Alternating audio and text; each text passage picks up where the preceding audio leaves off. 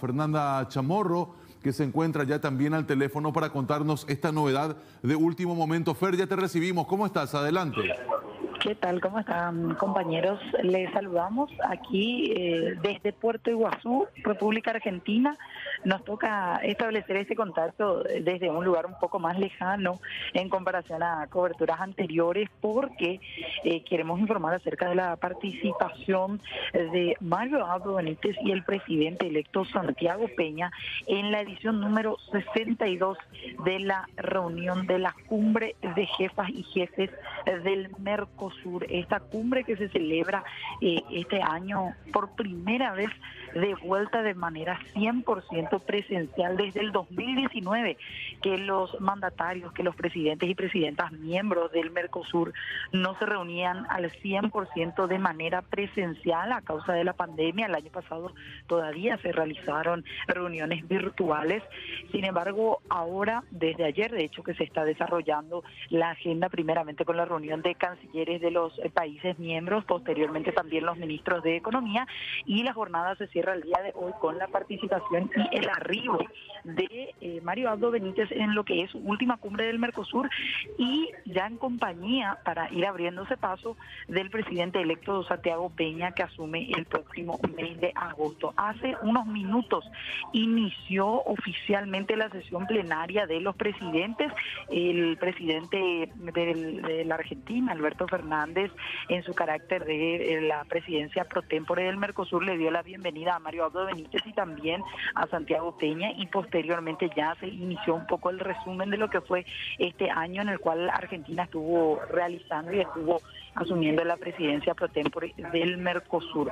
Posteriormente a esta reunión de jefes y jefas de, de, Estado, donde se van a tratar varios temas, como por ejemplo el conflicto que causa tanta incomodidad del peaje en la hidrovía que está siendo cobrado por la Argentina al Paraguay y también el proceso, en este caso, de un acuerdo que finalmente se pueda dar eh, con algunas condiciones actualizadas con la Unión Europea está pendiente la firma definitiva para el acuerdo, está estancado este tema ya desde hace años por demandas de ambas partes para renegociar algunos apartados o incluir algunos nuevos eh, capítulos. Y además de esto también están, veremos cuál va a ser la postura de Luis Lacalle Pou, mandatario del Uruguay, teniendo en cuenta que ese país busca negociar con China continental. Son algunos de los principales temas que van a estar tratando los presidentes en esta que va a ser la última cumbre de Mario Abdo Benítez, la última también de Alberto Fernández como presidente de Argentina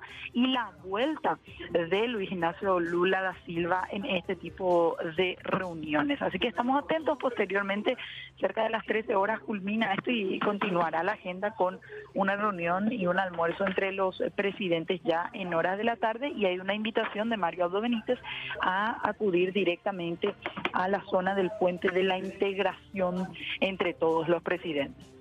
Bien, Fernanda, excelente tu reporte. Para tu tranquilidad, la señal es súper nítida y vamos a estar muy atentos a lo que pueda ocurrir entonces en este reencuentro. No sé si llamarlo histórico, podría ser, ¿por qué no?, después de varios años de manera 100% presencial y veremos también qué tipo de temas positivos pueden repercutir en nuestro territorio. Eh, una imagen realmente muy linda, Amalia, de una jornada eh, soleada ahí en Puerto Iguazú, Argentina, ¿no? Qué, lindo. entre paréntesis, y que con respecto a la visita de Fernanda por ahí, que dice que es mucho más lindo todo ahí del lado argentino que de todo lo que tiene que ver con lo turístico del lado brasileño, ¿verdad? No sé si Fernanda vos confirmás eso.